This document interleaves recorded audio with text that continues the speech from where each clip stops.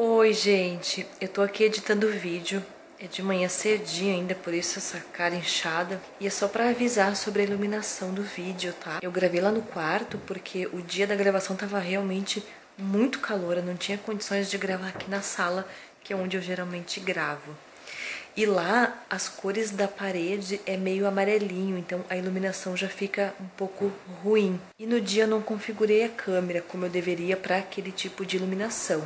Mas enfim, foram apenas alguns vídeos e eu já gravei novamente lá dois dias atrás e arrumei essa configuração da câmera.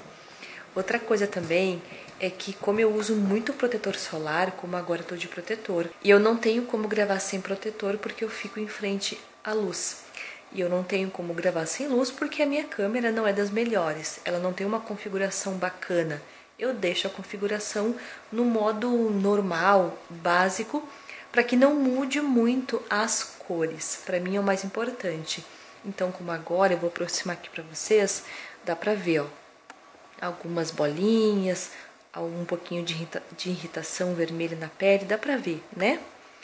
Mas ainda assim tem esse tom meio branco porque tá estourando do protetor solar, tá? Então, para quem me pergunta, o meu rosto parece mais branco do que o meu corpo e realmente é, mas eu não me importo que meu rosto apareça mais branco, porque eu sinto que eu tô protegida contra as manchas e só eu sei e só quem tem manchas sabe o quão triste é a gente correr atrás de clarear a pele e simplesmente colocar tudo a perder só para não parecer um pouco mais branca. Para mim não tem problema. Quem se sente incomodado, eu peço desculpas. Quem não gosta muito dos vídeos por conta do, do tom né, da pele, é muita luz, é pouca luz, fica estranho de ver, não dá pra ver certinho. Ó a minha cadeira suja de caneta, porque eu uso caneta no cabelo, então fica assim, ó, enfim.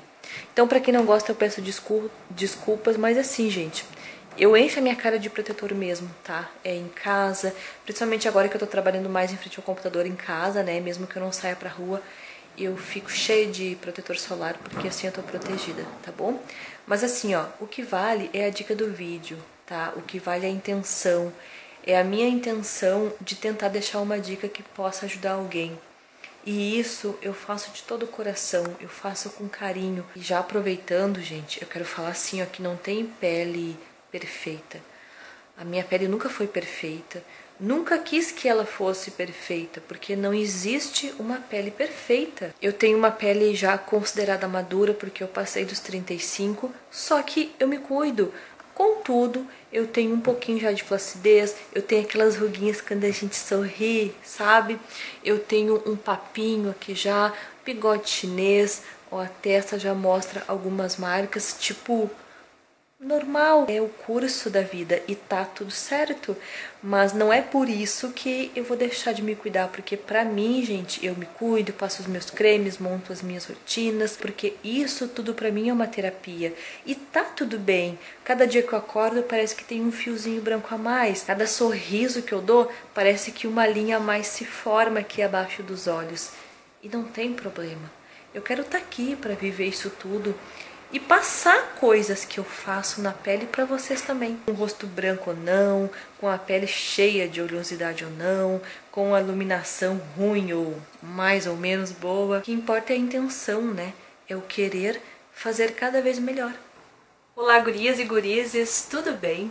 Eu sei que o cenário aqui não é dos melhores, salvo aquela coisinha fofa ali, né? E a dica de hoje é uma máscara antioxidante Dependendo da pele, se for uma pele bastante receptiva, tipo recebe bem as receitinhas, não irrita com facilidade, então essa pele vai conseguir um clareamento também. Mas assim, sobretudo, a máscara é para uma pele que está sem vida, que está sem visto. Aplicar uma vez por semana e sempre antes de aplicar a máscara, a pele precisa estar limpa. Eu vou usar uma colher de café de iogurte natural, menos da metade ainda, tá? Dessa mesma colher de café de pó de cúrcuma.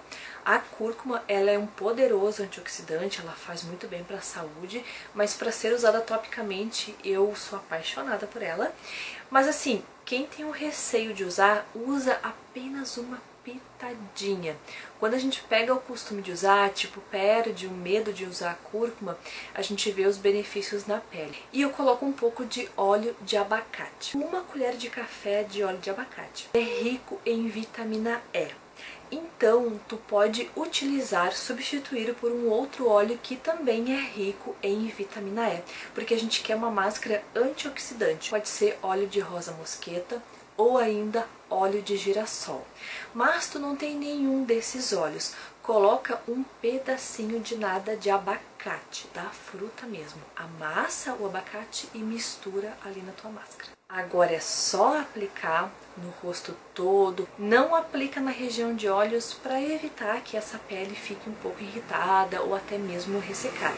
A máscara em si não vai ressecar a pele, só que a região de olhos ela é uma pele mais fina, mais delicada, então ela pode ficar agredida com a máscara sim. Pode ficar até 15, 20 minutos com a misturinha e retira muito bem. Na hora de retirar, tu vai usar a água gelada, mas se tu tem a pele seca, não use água gelada. Aí tu retira na torneira normalmente. Aí seca bem com a toalha, tonifica a tua pele, que é importante tonificar.